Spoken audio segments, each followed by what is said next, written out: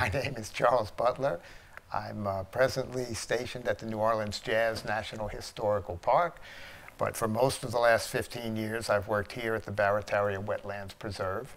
I am a certified ISA arborist, a National Park Service preservation arborist, um, have several degrees in unrelated fields, and uh, mostly I love doing tree work. I've uh, personally planted more than a million trees.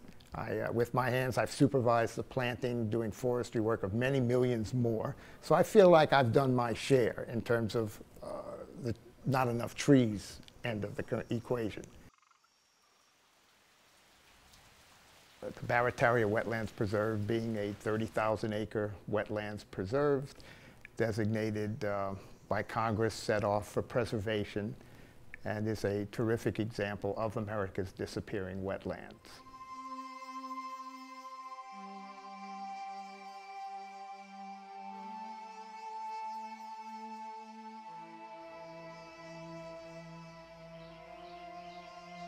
The Barataria wetlands is a terrific example of America's disappearing wetlands.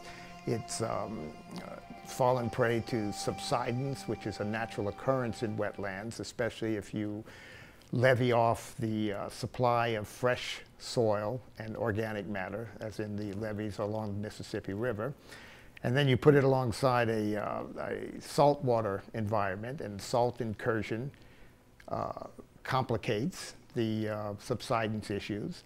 And then on top of that, if you put a changing global climate, which is causing sea levels to rise, you have the uh, water rising and the, the land subsiding as organic matter decays and uh, the uh, sand and mineral particles squeeze the moisture out from between them. And uh, you end up with some of the highest relative sea level rise on the planet, right here, just south of the city of New Orleans.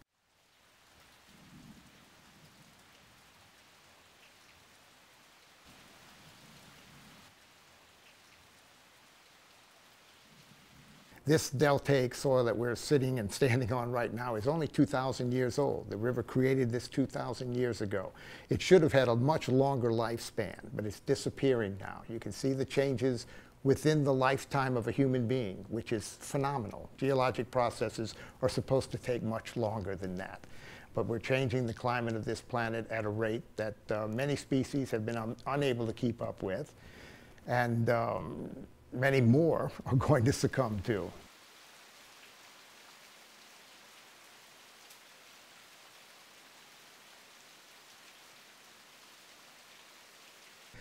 The, uh, the climate is changing, it's getting warmer. There is a, uh, a huge tipping point. I don't see any way, even if we started doing everything right today, that we could stop this from happening for 50 or 100 years because these processes do not turn around on a dime. So what we need to do at this point is to begin to, to think about how we can mitigate this. How can we prepare for these, uh, this looming change in our environment, this radical change, and um, start making preparations for it.